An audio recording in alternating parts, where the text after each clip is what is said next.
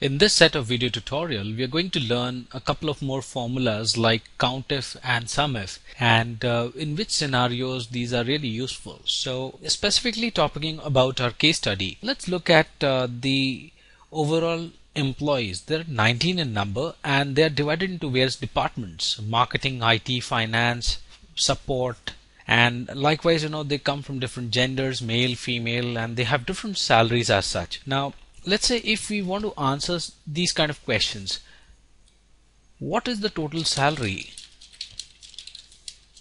of marketing professionals?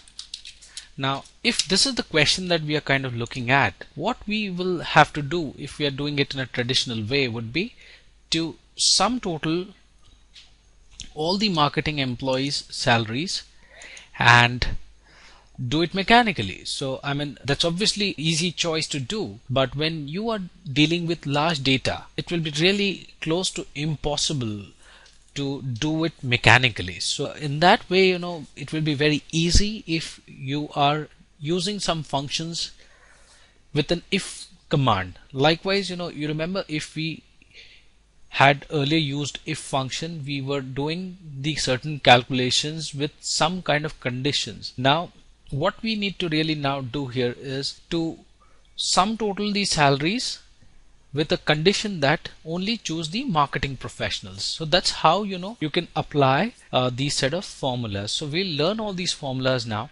So the two functions which we will be dealing with now would be countif and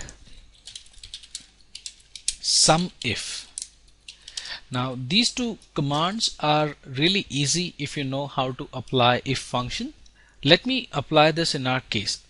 So let's calculate the following. Total number of employees in each department and we should also try to calculate the total salary in each department.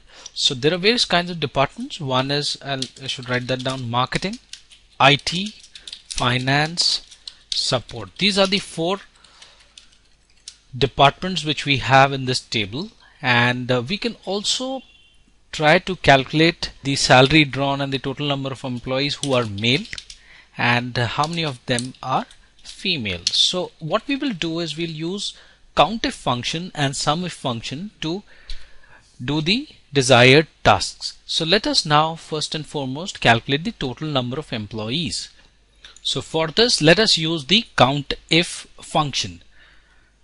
So as we have seen for other set of formulas we need to start with equal to and we will type COUNTIF with a bracket open. The moment we do that you can see the syntax that needs to be given for COUNTIF. It asks for two things. One is the range and the second one is the criteria. So where is the range on which we need to find the total number of employees?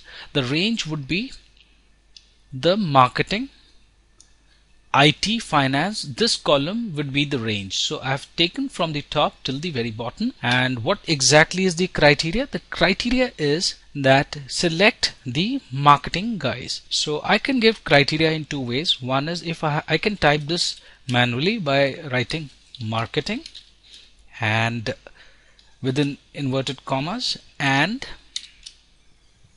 bracket closed. So what will happen is uh, this Excel will provide me with the total number of marketing employees by using this COUNTIF. So it's only counting when the department is marketing otherwise it leaves it. So as I told you there are two ways of doing it. One we can write this under inverted commas or second we can delete this and we can directly choose the one which we have written in this cell which is cell C30 that is the criteria